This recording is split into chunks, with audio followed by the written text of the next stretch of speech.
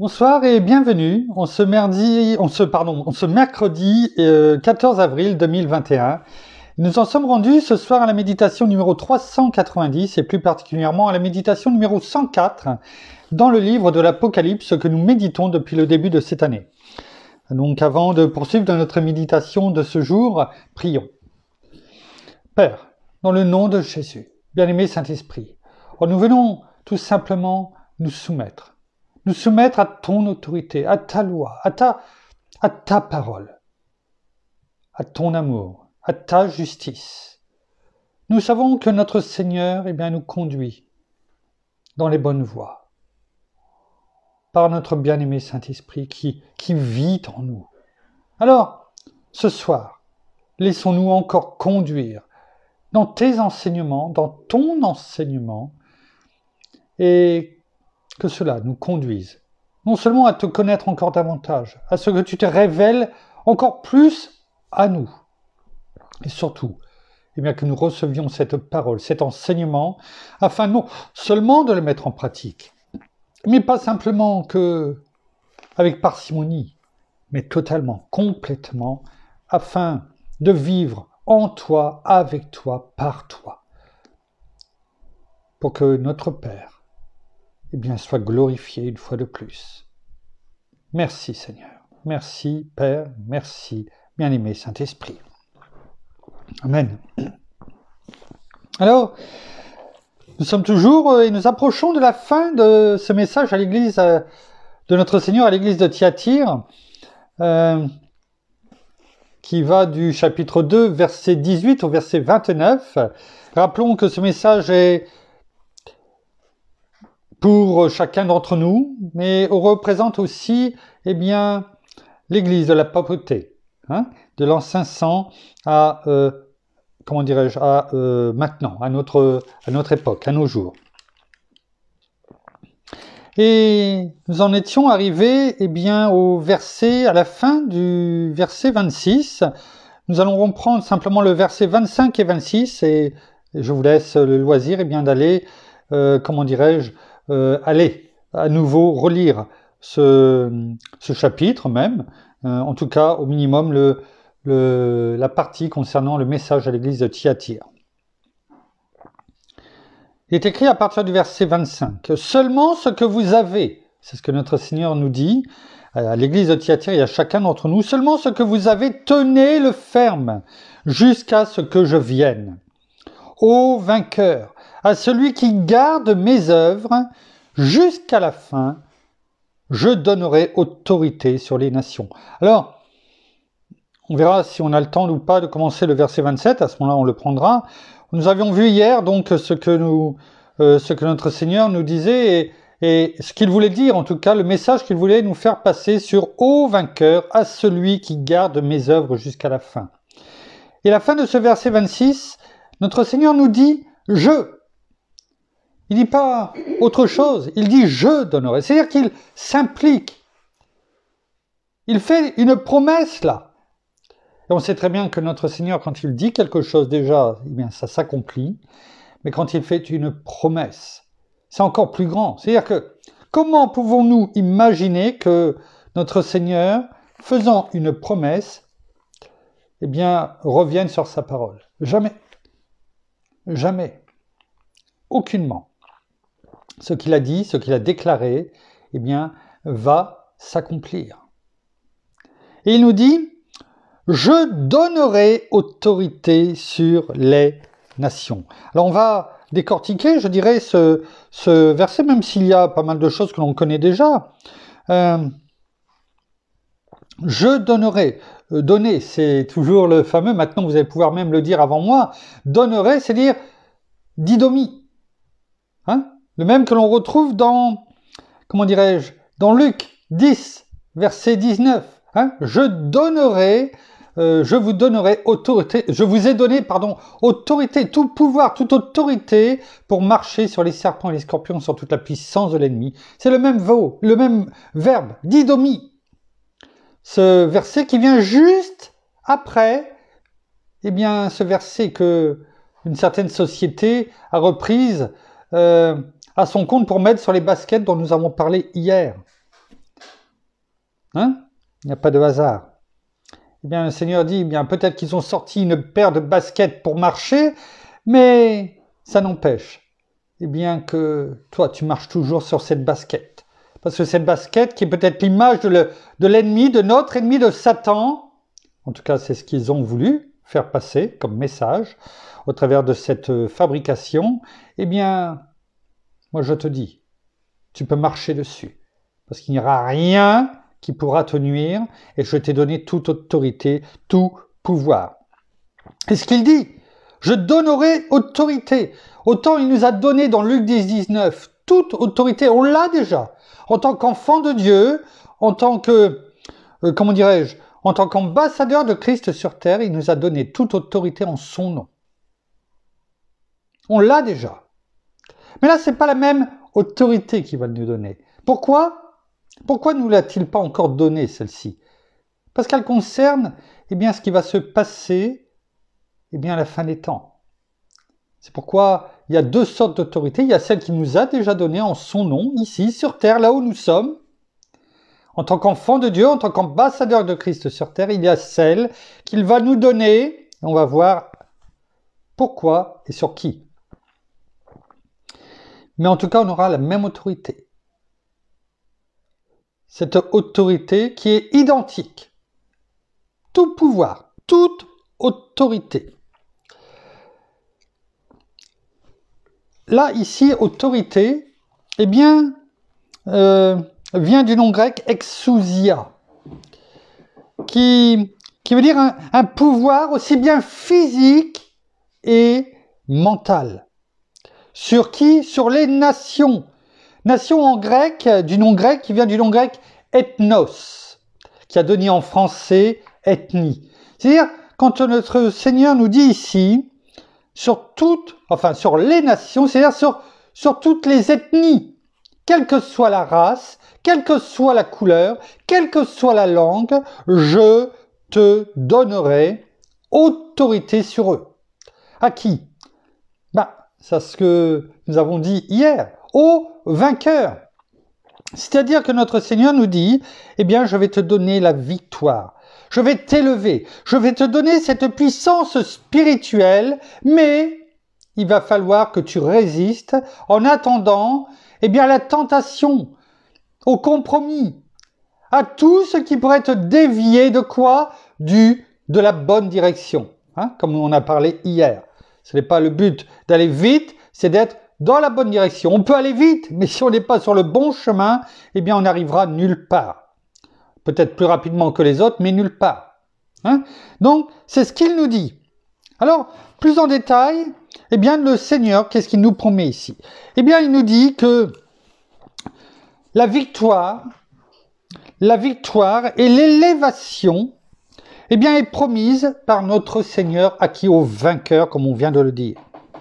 Et ici, notre Seigneur nous dit que l'enfant de Dieu régnera, régnera sous le roi qu'il est, notre Seigneur, notre roi, pendant à quelle période? Pendant le millénium, ainsi qu'éternellement sur la nouvelle terre. Il nous dit que les rachetés, hein, ô vainqueur, à celui qui garde mes œuvres jusqu'à la fin, hein, qui garde ma parole, comme on l'a vu hier. Hein, je vous laisse aller réécouter ce que nous avons dit hier. Eh bien, il nous dit que les rachetés gouverneront sur des sujets. C'est ça les nations. Comme on a parlé du verbe ethnos, ethnie, sur donc des sujets, les hommes naturels, comme nous, faits de chair et de sang, ces habitants de la terre pendant le millénium. Parce qu'il y aura encore des habitants pendant le millénium sur la terre. Des hommes, des femmes, ceux qui, on le verra eh bien, à la fin de l'Apocalypse, ceux que notre Seigneur, eh bien, aura permis encore et aura donné euh, et aura permis de vivre pendant le millénium. Il les a appelés aussi des nations, les mêmes qu'il nous donne ici dans le verset eh bien, 26 du chapitre 2 de l'Apocalypse. Alors non seulement sur ces hommes et ces femmes, bien sûr à la fin du livre de l'Apocalypse, enfin, du moins, lorsque l'on reviendra avec notre Seigneur sur la terre, après les temps de tribulation, hein, donc c'est-à-dire après sept ans, tout cela on le reverra, hein, mais aussi sur leur progéniture, c'est-à-dire sur les enfants et les enfants de leurs enfants. Ça, c'est important. C'est ce qu'il nous dit ici. C'est ce qu'il nous dit ici. Bien sûr, toutes ces personnes résideront sur la terre, euh, comment dirais-je, euh, après le millénium. Hein, et avant, eh bien, euh, comment dirais-je, le jugement, dont nous en avons déjà pu l'aborder un petit peu. Et tout cela, parce qu'on pourrait dire, mais est-ce que tout cela, on peut le voir? Oui, oui, on peut le voir. On le verra plus en détail lorsque nous y arriverons. Là, on va juste reprendre les, grands, les grandes lignes. Tout cela, on le voit eh bien, dans les chapitres 20 à 22 du livre de l'Apocalypse. Les trois derniers chapitres. On le voit. Ce que le Seigneur nous dit, eh bien là, euh, dit en tout cas à l'église de Thyatire et à chacun d'entre nous, bien entendu, à celui qui gardera la parole, c'est les œuvres jusqu'à la fin, eh bien, c'est ce qu'il nous dit, ce que nous allons faire. Et à partir du chapitre 20, eh bien, c'est est décrit le règne de mille ans. C'est ça le millénium, le règne de mille ans. Là où euh, Satan, eh bien, est enchaîné parce qu'il ne sera pas là pendant le millénium. Il sera enchaîné. Lorsqu'il y aura ici l'élévation des saints, celle que l'on vient de parler. Là où on peut voir aussi bien la déroute donc finale de Satan. Là où il y a aussi le jugement final. Tout cela, on le retrouve, on le détaillera dans le chapitre 20 là où au chapitre 21 est décrit les nouveaux cieux et la nouvelle terre. Là où on peut voir le contraste entre les vainqueurs et les méchants, où ils finiront l'un comme l'autre. Là, ce passage merveilleux de ce chapitre 21 où on voit la description de la nouvelle Jérusalem, la, Jérusalem céleste, où il y est décrit le mur, les portes et les fondations de la ville. Et là, on voit la richesse de notre Père. C'est là où on voit que tout lui appartient. Tout ce qui est sur la terre est déjà là-haut. Toutes les richesses de la terre n'égaleront jamais sa richesse à lui on voit les dimensions de la ville qui sont impressionnantes. Là où on voit les portes de perles, tellement énormes, tellement grandes. Là où on voit la lumière de la ville. En fait, il n'y en aura même pas. Pourquoi? Magnifique verset. Où il est écrit, verset 23-24, on va le prendre parce que c'est magnifique. La ville la Jérusalem céleste, n'a besoin ni du soleil, ni de la lune pour y briller, car la gloire de Dieu l'éclaire. Cette gloire de Dieu qui, on le sait combien de fois on a dit, qui, qui nous éclaire, oui, mais ce n'est rien lorsqu'elle sera là, qu'elle descendra sur cette terre. Il n'y aura même plus besoin de lumière parce que la gloire de Dieu l'éclaire, et l'agneau, l'agneau, notre Seigneur Jésus est quoi? Est son flambeau. Magnifique. Vous voyez, ce verset 24, il est écrit les nations, c'est-à-dire celles, vous voyez, qu'on vient, on ne détaille pas là, on dit simplement ce que on vient de lire dans le verset 26 du chapitre 2. Eh bien, voyez, c'est déjà, ça préfigure ce, qui, ce que l'on détaillera, bien sûr, eh bien, euh, au chapitre 20, euh, 21, euh, fin du verset 21, le chapitre 21. Les nations marcheront à sa lumière, et les rois de la terre y apporteront leur gloire. Les rois, c'est-à-dire ceux qui, entre guillemets, qui gouverneront, qui seront encore, qui étaient encore les, les responsables de ces nations. Y apporteront leur gloire. Ce sera peut-être tout simplement aussi nous, habitants des cieux. Serons des rois et des reines, chacun avec des rôles différents, bien sûr. Là où nous régnerons, on va le voir juste, euh, peut-être pas aujourd'hui, mais sur le, le, en tout cas le début du verset 27. Et ce chapitre, euh, dernier chapitre, 22 euh, du livre de l'Apocalypse, qui est le paradis restauré. La vérité, les exhortations finales aussi, hein, qui peuvent être dures quelquefois à entendre, mais qui sont la stricte réalité. La vérité de la révélation, la fin des temps qui à ce moment-là approche, et les conditions surtout requises pour entrer dans la ville. Voilà ces trois derniers chapitres qui décrivent, eh bien, tout simplement ce que notre Seigneur nous dit, ô vainqueur, à celui qui garde mes œuvres jusqu'à la fin, je donnerai autorité sur les nations en son temps. C'est pourquoi vous comprenez maintenant pourquoi, oui, on a la même autorité, c'est le même mot, le même don, en Christ Jésus que nous fait notre Seigneur. Mais elle ne s'applique pas aujourd'hui, elle s'appliquera demain, comme on vient un petit peu de le détailler. On va commencer le verset 27. On peut au moins déjà le, prendre un petit peu. On va le lire déjà. Il est écrit avec un sceptre de fer. Donc c'est la suite. Hein euh, je donnerai autorité sur les nations. Point. Avec un sceptre de fer, il les fera paître comme on brise les vases d'argile, ainsi que j'en ai reçu moi-même le pouvoir de mon Père. on ne va pas tout méditer ce soir sur ce euh, verset, mais juste le début. Ce qui est intéressant, de qui il parle là? Il dit, avec un sceptre de fer, il les fera paître. Qui? Il. C'est qui le il? Eh bien, c'est le vainqueur. Celui que l'on voit au verset précédent. Ô vainqueur, à celui qui garde mes œuvres. Jusqu'à la fin, celui dont on a parlé hier. Celui pour lequel, eh bien, on doit aller jusqu'au bout. Qu'importe la vitesse. En tout cas, tenir, comme il dit, les œuvres, la parole jusqu'à la fin, sans se détourner, sans compromis.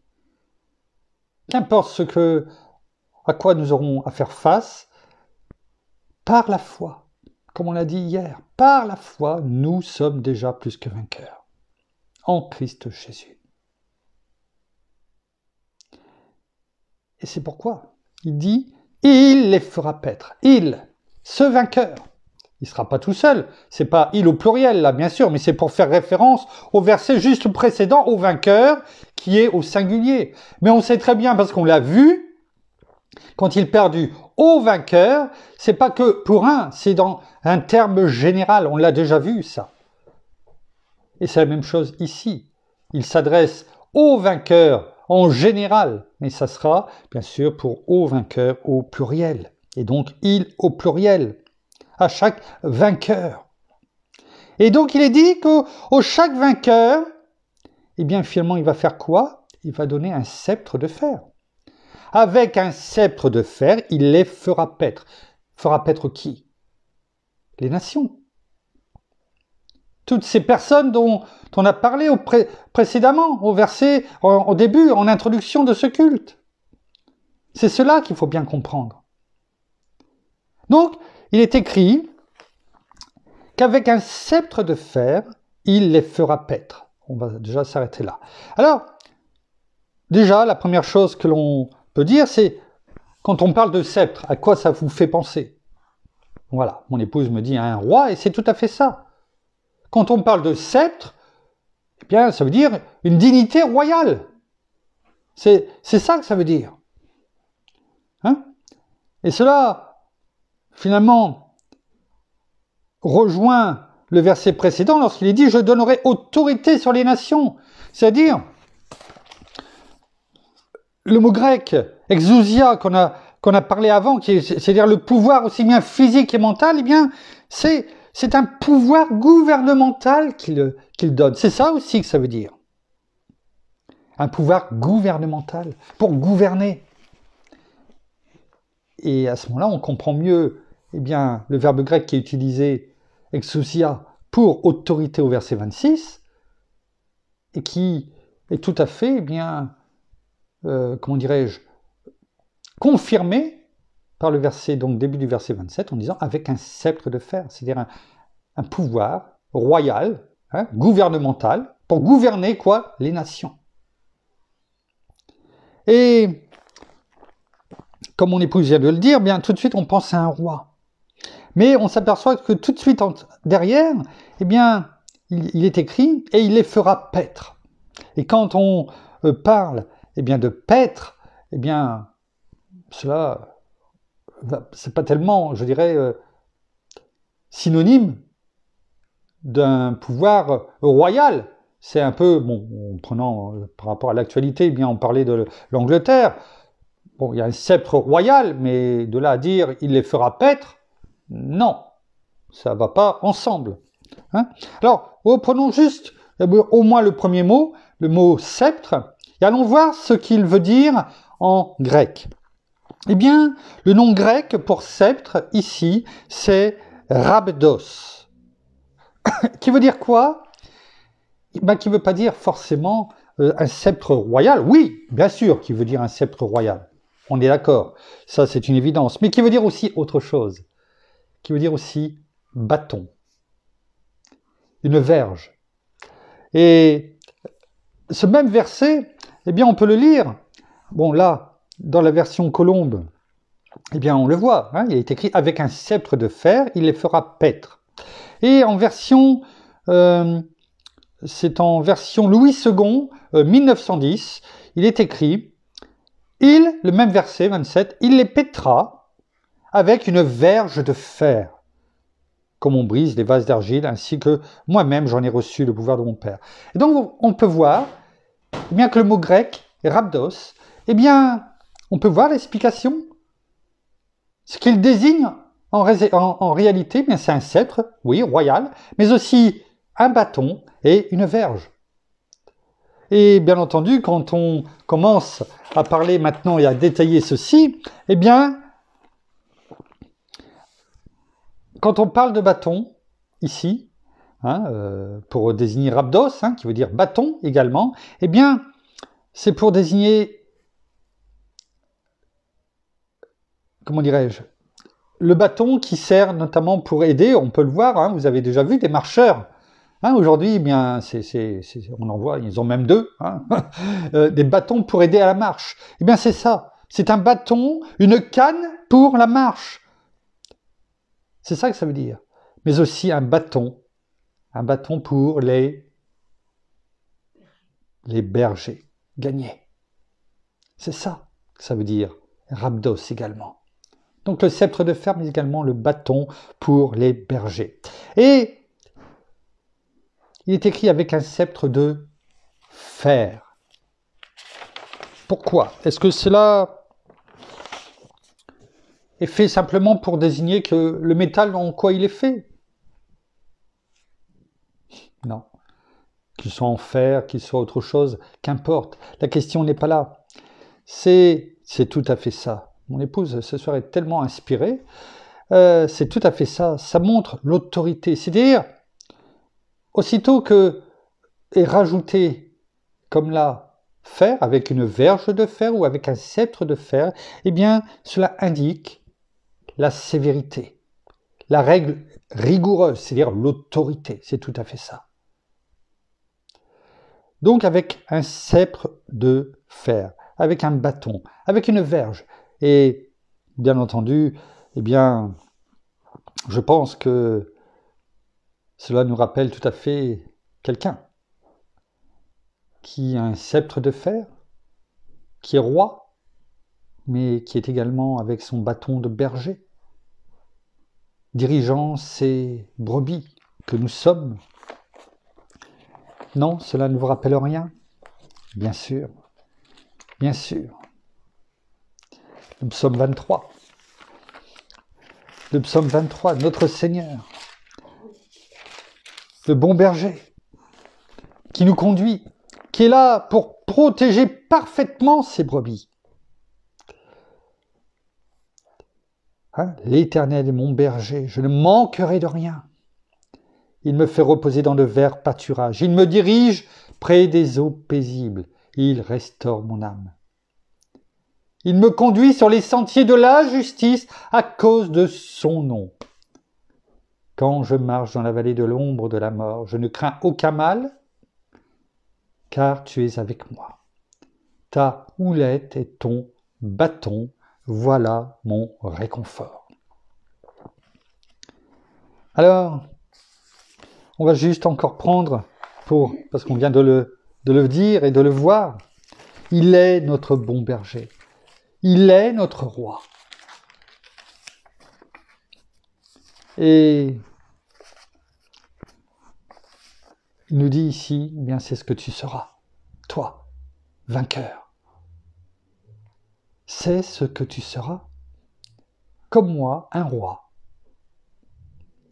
Et tout ce que je t'ai montré, tout ce que je t'enseigne, jour après jour, eh bien, est-ce que tu vas garder jusqu'à la fin, c'est-à-dire ma connaissance, ma parole? Eh bien, c'est pour que tu aies mon caractère en totalité, complètement, à ma ressemblance, afin que toi-même, eh bien, tu puisses, comme moi je te l'ai montré, eh bien, faire paître ces personnes à qui je vais te donner autorité en mon nom.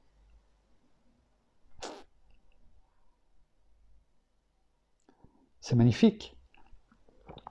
Ici, il les fera paître. Paître vient du verbe grec poiméno, qui veut dire quoi? Qui veut dire nourrir. On l'a lu dans le psaume 23.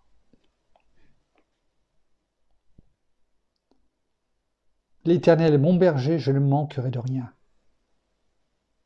Il me fait reposer dans de verts pâturages. Une brebis est amenée dans un vert pâturage pour manger l'herbe grasse.